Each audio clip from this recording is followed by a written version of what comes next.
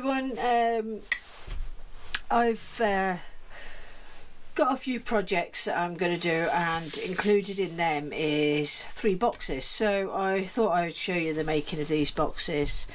Um, this was a template I just found online, and really, what why I chose this one is because um, it looks quite a complicated box, but really I wanted to show you that it's these are not as complicated as you think they are when you actually start doing them. So I specifically picked up quite a complicated looking one to show you so the size of this template that I'm using is let's go to inches roughly about eight and a half by about 10 10 inches. And um, I'm using a bit of oak here which is just over two and a half inches. And then I'm using uh, let me move this bit off. I'm using a piece which is about an inch thick for the back. And um, it, I just happened to buy uh, a great big slab in this thickness. So I bought some extra inch sheets of um, oak as well just to do for the back so basically what I'm going to do is um, I'm going to just show you with the help mostly of time lapse with these because you know the box pro um, projects are really quite big. But I wanted to just take you through my method of how I do it. So as you can see we've got, we've got an outer line out round here. That is going to be the outer line of our box. I have got the bit missing at the top but I shall actually just draw that in um, so the first part that I'm going to do is um, I'm going to cut the outer edge and get the shape on that which I can then use for the template for the base. Um, so I'm going to go away and do that and then I'll come back and explain the next bit. I'm going to try and break the steps down a little bit so that um, I can show you that they're really not that complex to do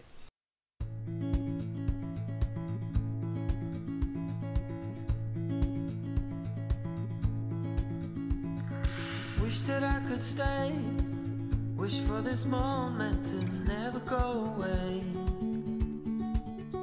But it's all in my mind. So uh, the next bit that I need to do now is um, This has an outer border This box Like most boxes with these complex drawers have. They all have an outer rim. And that's what gets people usually very confused thinking oh it, that looks a difficult box to cut because once you take this outer which is about half an inch I would say it varies in in areas. Once you take that off it actually gives us a way in to cut all these outer boxes out. So um, and then I'll explain these inner ones. Um, a lot of yous out there that do boxes you'll always, already know how this is all cut but this is for those that are hoping to try these in the future so anyway, the next bit now will be to cut this outer uh, of the box. Thinking about what your life came to be. You're a beautiful sight in the summer night. And you can't put up a fight in the misty light.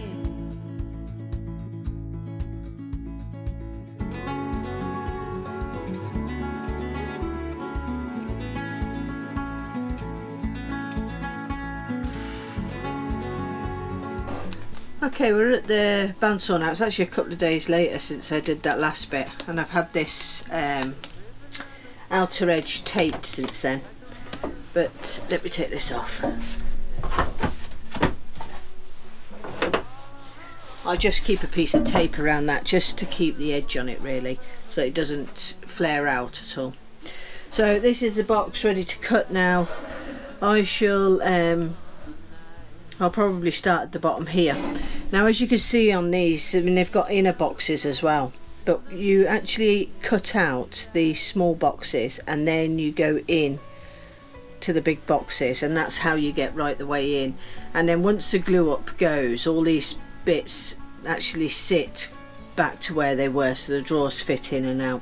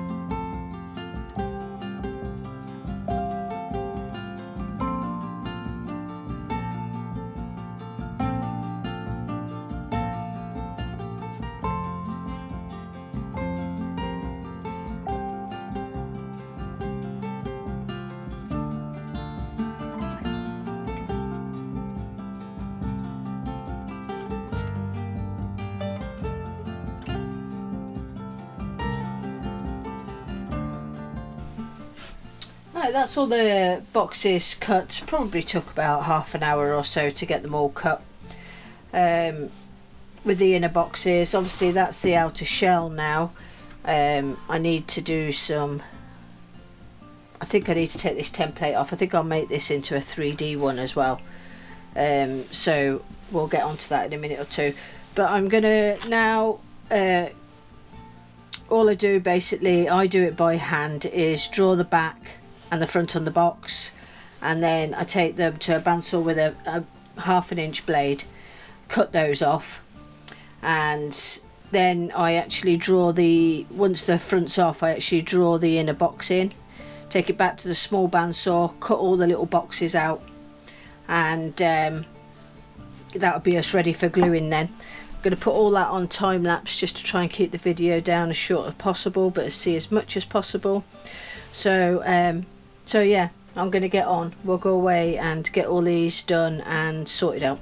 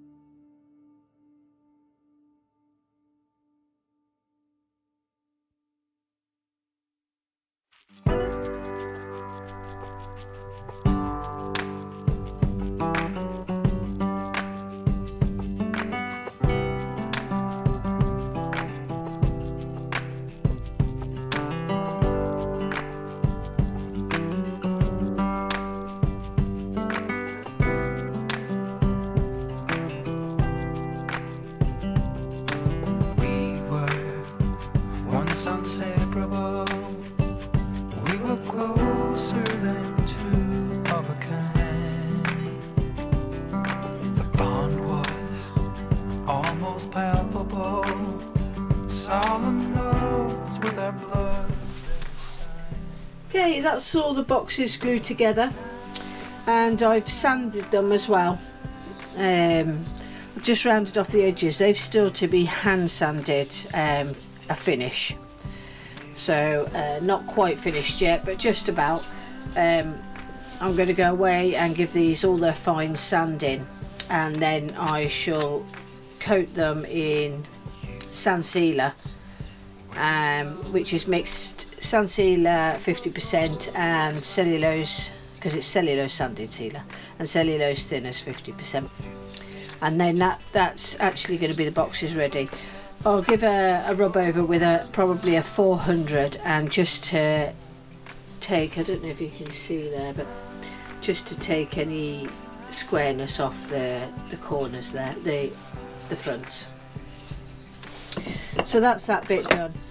Um, this obviously still not all been glued yet it's still held by tape.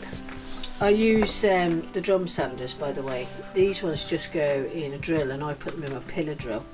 They're great for rounding off edges. And then for the ones that have got tight bends in that I can't get in with this I use a spindle sander. So the next part now is um, to get the tree done. So I've cut some half inch slices here and I'm not even sure what wood it is. Um, but anyway I've cut the tree template and then I cut it into smaller bits so it's got like an intarsia look on the top um, which I'll explain more once I've uh, done it. If you've watched my previous box then you'll know what what the um, the look is that I'm, I'm going for. So um, I'll go to the I'm going to go on to the oh god bandsaw. And using an eighth of an inch blade I'm going to cut these out. This could be cut out on a scroll saw which I have but I don't have in this shed. So I'm just going to use the bandsaw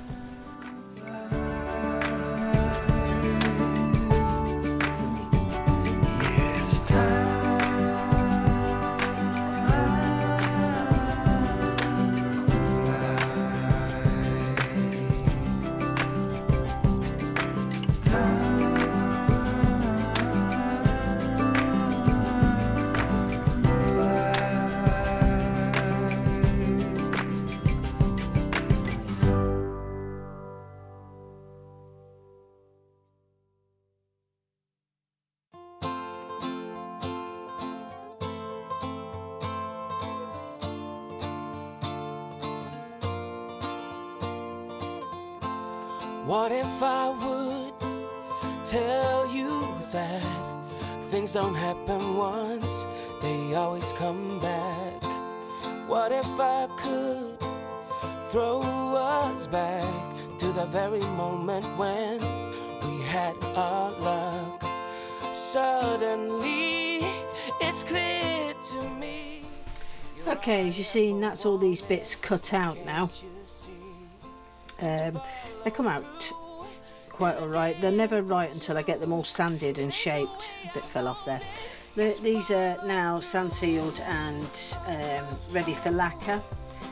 Uh, I use two coats of, um, I just use auto lacquer, any of the cheap lacquers and in between I sand with about a 400 grit just a light sand and then another coat. It just gives it a smoother finish. It's lovely and smooth to snout because after the sand sealer I used 600 grit to go over. So that's those all done and ready for handles to be put onto those. Uh, so the, the, next part that I need to do now is I need to sand. So e each block that I've got now, when they come to an adjoining part, I sand them down to 45 degrees at those angles so that they dip down to join each other like Intarsia does.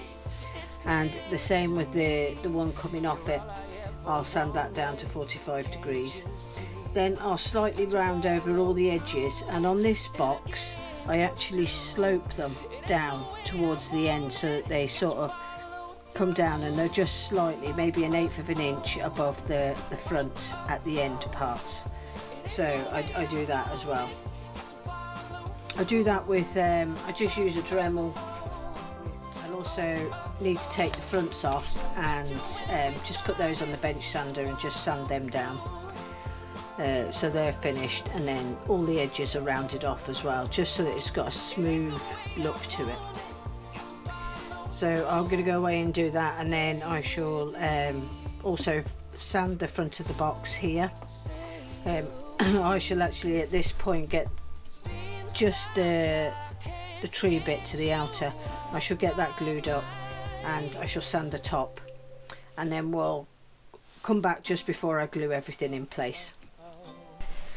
Okay that's the uh, box the out, outer edge is glued to the base. I've still to um, sand this down and glue it onto the back. The I glued this centerpiece on so I had something stable for making sure that these all fit correctly. These are not glued on as yet. Um, that's the next part that I'm going to go away and do now. The sanding's the biggest thing on them so uh, so really there's not much more I can show you on this until we get to the handles and I'll show you how I'm going to do the handles on it. Um, it should be quick and easy handles. So I'm going to go away get this glued up get the back glued up onto the box um, get it all sanded and sand sealed and um, we'll come back for the handles Okay, that's the back glued on. Um, still to be sanded. That's this part glued on as well. And uh, now I need to go in and just clean up the edges um, with the glue and to make sure that they're not overlapping at all. Um, there is like a little ridge there that's overlapping and what happens when these overlap sometimes is that the drawers get stuck in so um, I should use a Dremel bit and I will just basically go around those edges just make sure they're tight in. Clean up anything on there. Get the sanding for the outer box and then I will be ready to start sand sealing and finishing on that. So meanwhile while I go away and do all of that I need to think about the um, the drawers and how I'm going to pull them out. Excuse me yeah so we'll get on to the handles so I just kept some of the scrap from this um, which I will now use for the handles. Now if you watched the last big box that I did, the one with the Melly Bear on, um, I just extended branches. I'm going to do the same with this. Because I'm trying to keep it as tidy looking as possible. Now I have seen this box done. And they put little slithers in the middle there. But it just looks like for a lot of a lot of mess. So and sometimes it, it's you can't avoid it but anyway the way I'm going to do it is I'm just going to take little slithers like um, I'll think of maybe a bit of a branch bit coming off there so basically all I'm going to do is cut a bit like that can you see that? Hoping I'll be able to zoom it in so you can see that enough. So I'll just cut a little bit like that and then glue it into there. Sand it down in the same way. And it will sit, sit slightly lower but um, it will still look quite effective in there. So that's really what I'm going to go on and do now. So for each drawer I've got to go away and, and figure out where I'm going to add a little bit in. And um, start cutting them out and getting these glued into place. Obviously the drawers are still just sand sealed. So it's a bit, a bit tight fitting in there. They're still sat just sand sealed. So I want to get these glued onto them. I want to get these sand sealed glued onto there and then before I varnish it. So anyway I'm going to go away and do the finishing touches. So it's just the sanding of the outer box sanding inside here to make sure the ridges are nice and, and flush and glue these little handles on there's nothing spectacular in making these handles it's just a little bit of wood on the side Okay, I'll come back at the end. Okay, that's it all done. Took uh, probably about three days to to complete it with the different stages with gluing and stuff like that. Um, drawers come out. This is the way I've done the handles. Obviously, they're just I've put them so they look like little extra branch uh, branches coming off but I'm not too sure if it's too much but uh, limited on what you can do really there's a good weight in this with it being oak. Turn it around the back. I didn't put a base onto this one. Um, it's pretty solid and quite big as it is so um, and there is quite a good weight in it already. So I've just left it without the base. So anyway I uh, had to skip quite a lot of bits in order to make the video short enough for yourselves you know and most of the stuff I think that I skipped is stuff I've maybe shown in the last bandsaw box video so um, you can always check that out. Um, I'll get some pictures up for you at the end but thanks very much for watching. If you like what you see give me that thumbs up. If you don't give me the thumbs down if you've not subscribed already and you want to see more please do press that subscribe button and feel free to share this as much as you want. Hope you enjoyed. Thanks very much for watching